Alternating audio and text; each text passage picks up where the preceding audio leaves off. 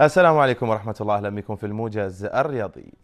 بحضور سمو الشيخ تركي بن راشد بن عيسى الخليفة وسمو الشيخ فيصل بن راشد بن عيسى الخليفة رئيس الاتحاد الملكي البحريني للفروسية وسباقات القدرة.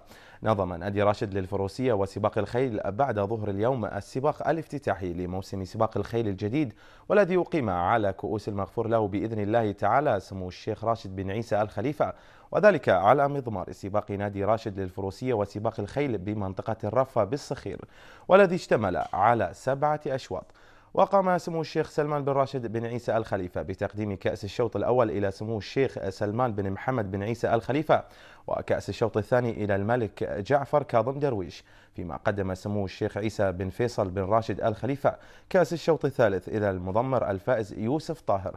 ثم قدم سمو كأس الشوط الرابع إلى سمو الشيخ عيسى بن عبد الله بن عيسى الخليفة وأقام سمو الشيخ سلمان بن راشد بن عيسى الخليفة بتقديم كأس الشوط الخامس إلى سمو الشيخ سلمان بن محمد بن عيسى الخليفة بينما قام سمو الشيخ فيصل بن راشد بن عيسى الخليفة بتقديم كأس الشوط السادس إلى سمو الشيخ سلمان بن محمد بن عيسى الخليفة أما كأس الشوط السابع فقد توج سمو الشيخ تركي بن, بن راشد بن عيسى الخليفة صاحب المركز الأول الملك سيد هاشم حبيب محسن.